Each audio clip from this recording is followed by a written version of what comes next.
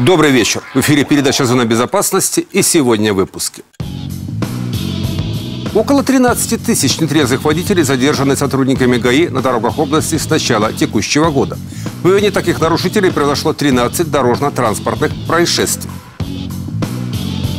Браконьеры не унимаются. В ходе полевых выходов сотрудников областной инспекции охраны животного и растительного мира постоянно выявляются все новые случаи нарушения природоохранного законодательства. Крутить педали полезно, но только если соблюдать правила дорожного движения. В Бресте сотрудники ГАИ проводят акцию по профилактике ДТП с участием двухколесного транспорта. Браконьеры не унимаются. В ходе полевых выходов сотрудников областной инспекции охраны животного и растительного мира постоянно выявляются все новые случаи нарушения природоохранного законодательства. И даже довольно серьезная ответственность не останавливает тех, кто считает природные ресурсы своим собственным карманом. Продолжение темы в следующем материале. По рейтингу эффективности работы в первом полугодии этого года Брестская областная инспекция охраны животного и растительного мира занимает третью позицию в республике. Это говорит о качестве проводимой ими работы по охране природных ресурсов и борьбе с браконьерством. За последние недели наибольшее количество нарушений инспекторами выявлено в Пинском, Березовском и Столинском районах. По итогам работы за первый квартал текущего года государственные инспектора Брестской области выявили 20 грубых нарушений природоохранного законодательства, в которых правоохранительные органы возбудили уголовного дела. Также изъято более 38 километров ставных сетей, 297 других запрещенных орудий лова. Юридическим лицам выдано 97 предписаний на устранение выявленных нарушений природоохранного характера. Кроме того, из незаконного оборота изъято 17 единиц огнестрельного оружия. Пресечено 39 фактов незаконно транспортируемой древесины общим объемом более 1000 метров кубических. По многим фактам браконьерства заведены уголовные дела. Около 13 тысяч нетрезвых водителей задержаны сотрудниками ГАИ на дорогах области с начала текущего года. По вине таких нарушителей произошло 13 дорожно-транспортных происшествий. В летний период нетрезвые участники дорожного движения на особом контроле у госавтоинспекторов. Один человек погиб и 15 травмированы. Это последствия ДТП, которые произошли в области с начала года по вине нетрезвых водителей. Доза алкоголя порой становится причиной трагедии. И не только для водителя, но и для других участников дорожного движения. Летом соблазнов еще больше – сел за руль личного авто, возможно, даже с пассажирами, поехал отдыхать, принял алкоголь и вновь решил сесть за руль, возвращаясь обратно. А впереди дорога и русская рулетка, ставка на которой слишком высока жизнь. Сотрудники ГАИ в летний период проводят специальные профилактические мероприятия и разъяснительную работу, а мы поговорили с автолюбителями, что они думают об алкоголе на дороге.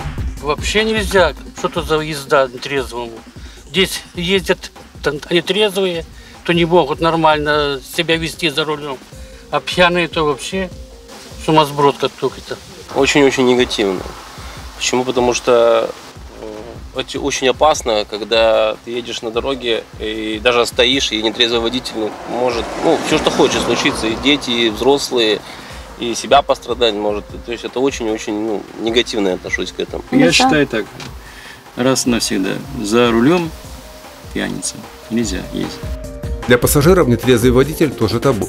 Садиться в пассажирское кресло при пьяном водителе категорически нельзя. Я не сяду, никогда в жизни не сяду. Ну, это опасно очень. Есть случаи, когда водитель уже на отдыхе едет пьяным за рулем. Так произошло с 34-летним жителем Бреста, который совсем забыл о безопасности на дороге и даже попытался скрыться от сотрудников ГАИ, но вовремя был настигнут. В крови у нарушителя оказалось 3-4 промилле. Оправданий этому быть не может. Чего не останавливаете? Водительская. Водитель пояснил, что накануне поссорился с женой, выпил и после чего решил отправиться с друзьями на водоем.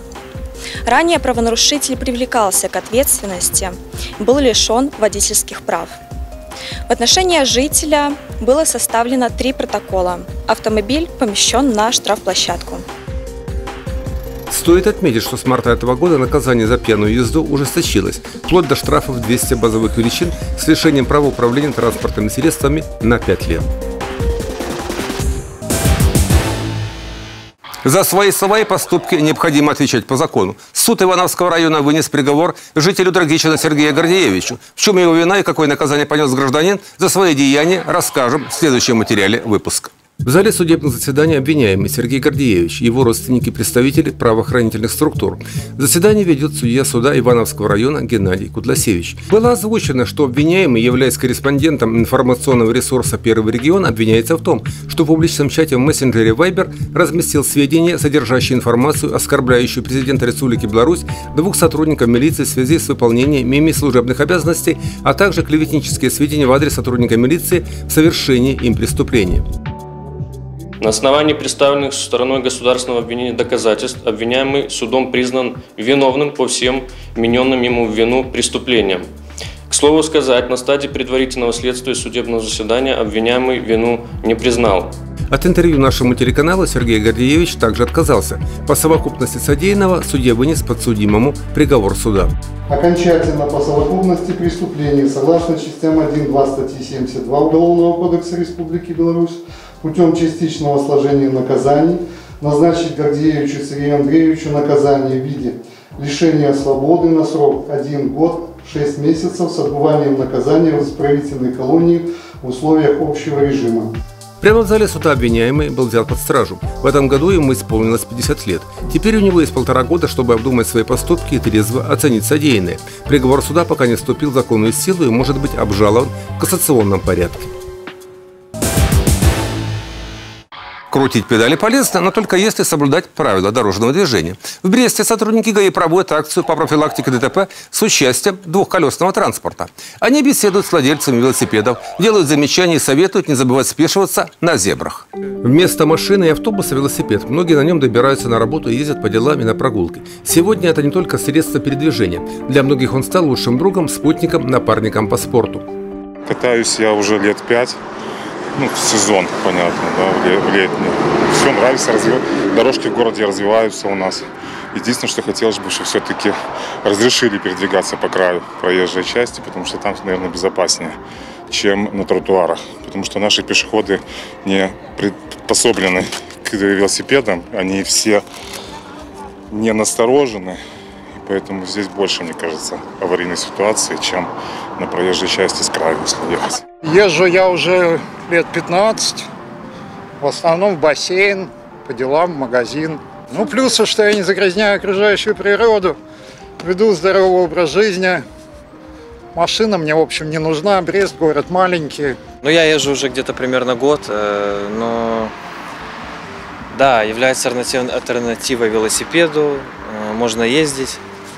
Конечно, когда дождь идет, то не очень приятно ехать. Вот. Э, я считаю, что самокатчики должны ездить аккуратно, потому что если будут выезжать на дорогу, может произойти легко ДТП. Юный владелец велосипеда Константин хорошо знаком с правилами дорожного движения после специальных занятий в детском саду советов мамы и бабушки. Поэтому на вопросы сотрудника ГАИ отвечает с легкостью. Скажи, пожалуйста, а где ты будешь кататься? Где тебе можно кататься? На велосипедной дорожке. На велосипедной дорожке, да, еще где? По дороге, вот где машины ездят, можно кататься? Нет. Нельзя. А почему? А если нет машин? Тоже нет. Конечно, в правилах дорожного движения это запрещается, правильно? Да. Но если малыши выучили дорожную азбуку на зубок, то взрослые частенько забывают или ленятся спешиваться. Сотрудники дорожного патруля не перестают напоминать, безопасность превыше удобств.